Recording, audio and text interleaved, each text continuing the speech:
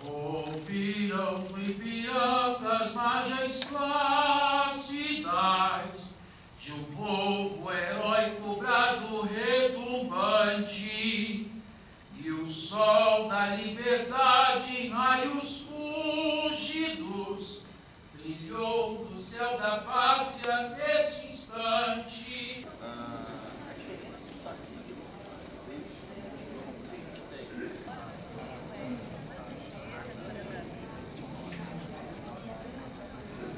Eu vim aqui cantar por um prêmio chamado Dorina Lovio, na sessão solene do, no plenário do Senado. Eu faço aulas na faculdade, na escola de música da, da UFRJ, então vou me formar em canto lírico. Eu gosto de ser convidado, eu aceito os convites todos, eu aceito os convites para cantar em São Paulo, eu aceito convites para cantar em Brasília, cantar em Belo Horizonte, cantar em alguma coisa, eu aceito tudo, eu topo tudo.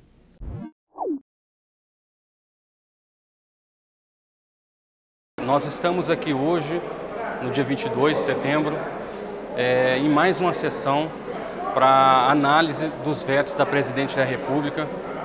É, e um desses vetos é o veto de número 26, referente ao PLC 28 de 2015, que trata da recomposição salarial dos servidores do Poder Judiciário da União. É um projeto que tramitou por todas as comissões é, da Câmara e do Senado, sendo aprovado inclusive por ampla maioria, maioria aqui nessa casa, né? e, e é, uma, é uma espera longa.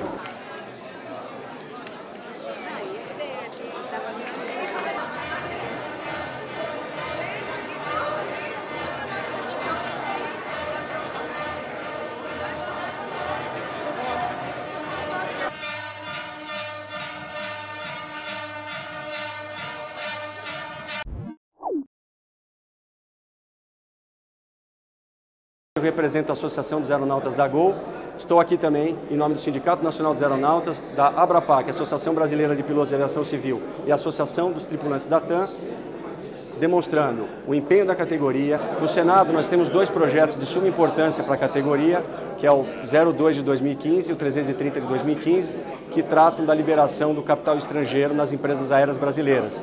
Nós queremos poder participar mais ativamente das discussões quer seja através de uma audiência pública, de uma discussão mais ampla com a sociedade para poder trazer e avaliar quais seriam, seriam os impactos de uma liberalização.